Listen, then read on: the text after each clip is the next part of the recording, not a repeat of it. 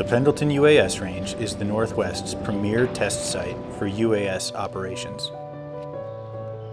Customers have access to 14,000 square miles of FAA approved airspace with operations allowed from surface to 15,000 feet MSL, all with low density air traffic. The Pendleton Airport, located within Class Delta airspace, is served by a UAS experienced air traffic control tower that closely coordinates with the Pendleton UAS range.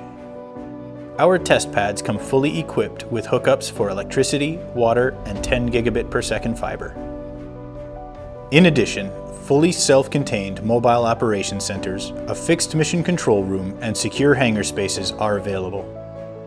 At Pendleton UAS Range, we provide 24-7 access to Delta, Echo, and Golf airspace with the support you need to conduct research and development, crew training, and national airspace integration.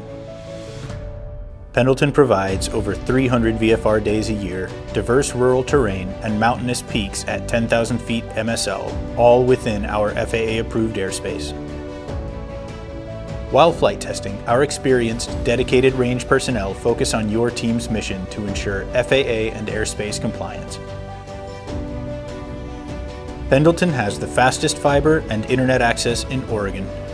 We can facilitate a wide variety of testing needs through engineering, integration, CAD modeling, rapid prototyping, and 10 gigabit per second internet access. There's a reason a drone isn't proven until it's proven in Pendleton.